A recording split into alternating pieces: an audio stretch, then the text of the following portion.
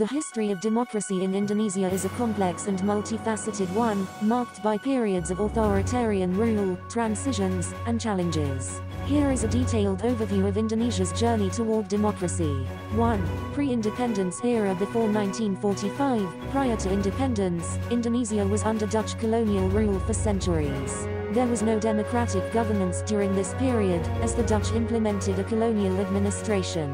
2. Declaration of Independence, 1945, Indonesia declared its independence from Dutch colonial rule on the 17th of August, 1945, Following Japan's surrender at the end of World War II, the country adopted its first constitution, the 1945 Constitution, which laid the foundation for Indonesia's democratic aspirations. 3.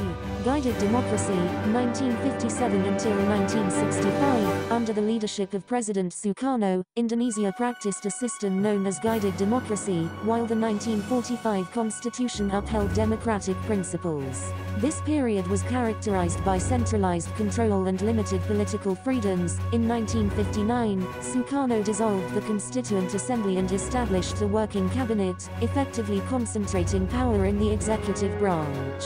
4. Transition to the New Order, 1965 until 1967, the attempted coup in September 1965 led to a period of political upheaval and violence. General Suharto emerged as the leader and, by 1967, had assumed control of the country. This marked the beginning of the New Order era, characterized by authoritarian rule and a strong military presence.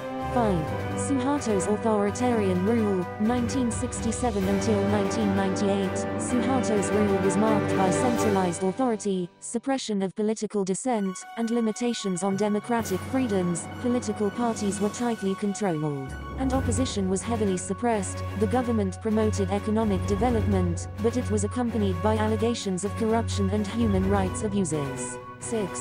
Reformasi in the fall of Suharto, 1998. In 1998, a series of student-led protests and social unrest forced Suharto to step down after 32 years in power. This period, known as Reformasi, marked the transition to a more democratic system. 7. Era of democratization, late 1990s until present, Indonesia embarked on a path of political and democratic reform after Suharto's resignation. Key milestones in this era include the adoption of a new constitution in 2002, which strengthened democratic principles, and the holding of free and fair elections. Multiple political parties emerged, and Indonesia transitioned to a multi-party democracy. Subsequent presidents, including Megawati Sukarnoputri, Susilo Bambang Yudhoyono, and Joko Widodo, were elected through democratic processes. 8.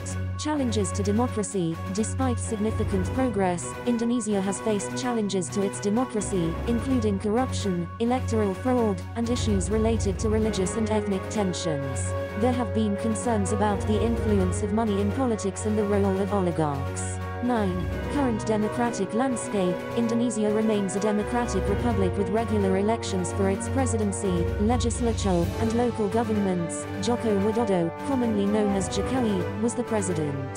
And he had been in office since 2014. The country continued to grapple with issues related to political corruption, human rights, and regional autonomy. Political developments can change rapidly, and for the most up-to-date information on Indonesia's democracy, it's advisable to consult recent news and scholarly sources.